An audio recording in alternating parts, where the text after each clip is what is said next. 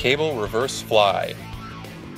Place a single handle attachment to both sides of the cable pulley cross machine, attaching the handles to the lowest rung.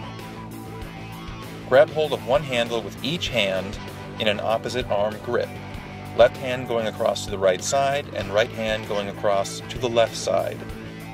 Stand up straight and bring both arms out to the side and up to the top of your head, all in one fluid motion. Make sure you aren't swinging your hips during the movement or bringing your arms up. Wait, scratch that. Make sure you aren't swinging your hips during the movement of bringing your arms up. Use the muscles of the rear shoulder to complete the exercise. Slowly lower your arms back down in front of you and repeat the exercise as many times as necessary.